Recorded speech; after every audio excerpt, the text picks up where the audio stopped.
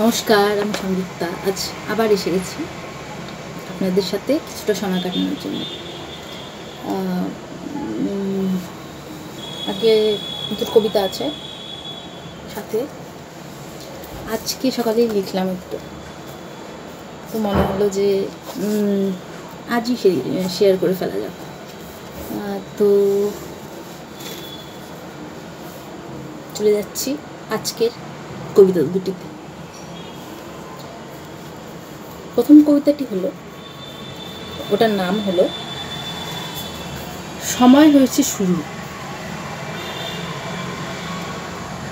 আজ কেমন ব্যাকুল মন, সৃষ্টি করার সুখে, কি জানি কি হিমেল বাতাস বইছে অধম বুকে।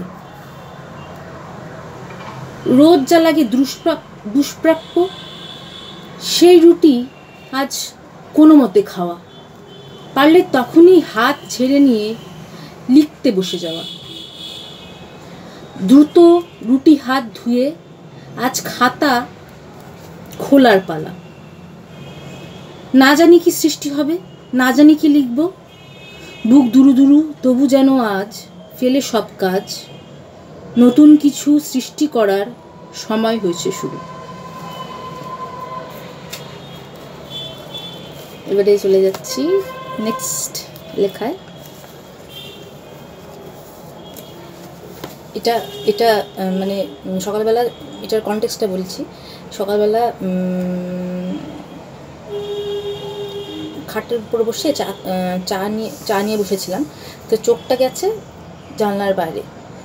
তো জানলার বাইরে চোখ যাওয়া, দেখেছি যে সামনে একটা গাছে একটা বুলবুলি পাখি এসে বসেছে।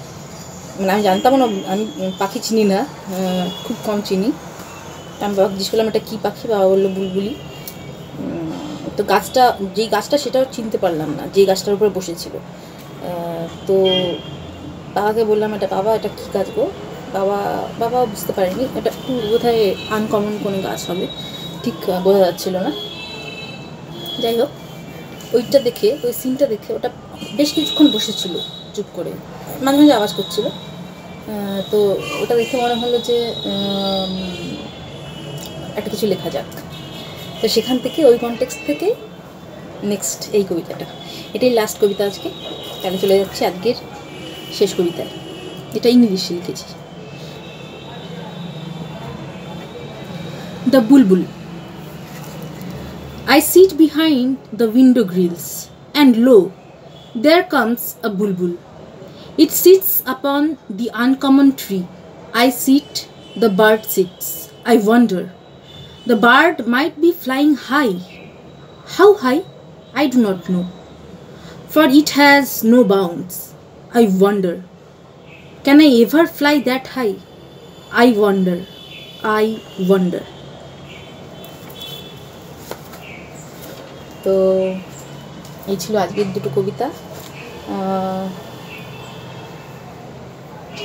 জানি না কেমন হয়েছে, কেমন কেমন লাগল আপনাদের জানান কমেন্টসে আর সঙ্গে থাকুন, পাশে থাকুন দেখতে থাকুন, এবং সবাই সুস্থ থাকুন।